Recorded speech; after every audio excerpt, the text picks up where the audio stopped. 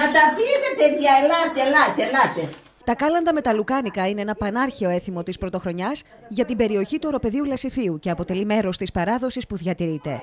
Μεσούση της πανδημίας φέτος, η τήρησή του σήμανε την αισιοδοξία για το έτος που έρχεται και η αναβίωσή του έδωσε μεγάλη χαρά. Κι αρχή καλός μας χρόνος, εκκλησιά, εκκλησιά μετάλλιο θρόνο. Τα κάλαντα με τα λουκάνικα εκτείνονται πολύ παλιά στο χρόνο, τότε που οι κάτοικοι στο τέλος της νηστείας των εορτών είχαν φροντίσει να φτιάξουν και να καπνίσουν τα δικά τους λουκάνικα και ένα κομμάτι από αυτά ήταν το φιλοδόρημα για τα κάλαντα των παιδιών που κρεμούσαν το κέρασμα σε μαγκούρες που κράταγαν μαζί τους.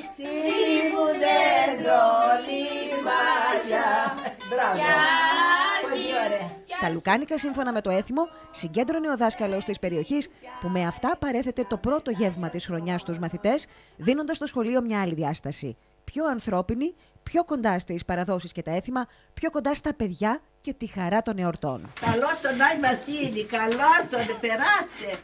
Κι αν κάποιοι είχαν τη χαρά να τον δουν από κοντά, σίγουρα οι κάτοικοι του οροπεδίου Λασιθίου ανήκαν σε αυτή την κατηγορία αφού ο Άγιος Βασίλης, ζωηρός και αισιόδοξος, εντοπίστηκε να κυκλοφορεί στα στενά, να δίνει ευχές και να σκορπάει χαμόγελα, σαν το πιο ζεστό και πολύτιμο δώρο, ποτέ άλλοτε δείχνει να είναι και το πιο ουσιαστικό. Καλώς ήρθες, καλή χρονιά!